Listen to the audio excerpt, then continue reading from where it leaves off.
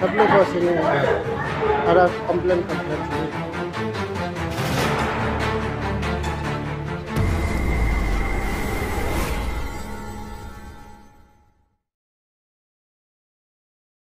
Seorang lelaki bertindak biadab dengan membawa masuk anjing peliharaannya ke dalam sebuah kedai. Menerusi video yang dikongsikan dapat dilihat, lelaki tersebut seolah-olah langsung tidak ada rasa bersalah dengan membawa haiwan tersebut ke dalam sebuah kedai, biarpun beliau menyedari majoriti pelanggan di kedai tersebut adalah beragama Islam. Pekerja kedai telah cuba menegur bahawa tidak dibenarkan untuk membawa masuk haiwan, namun lelaki tersebut langsung tidak mempedulikannya.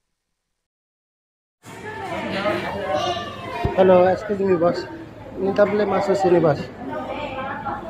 Tak boleh bos ini. Ada komplain komplain sini. ada Tak ada bos sini tak boleh sini.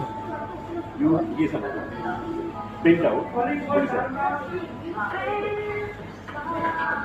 Oh, dia dia gigi lah. Kalau you ah, ada dia gigi. Boleh gigi tapi sini tak boleh bos. Big Brother. Aquela coisa.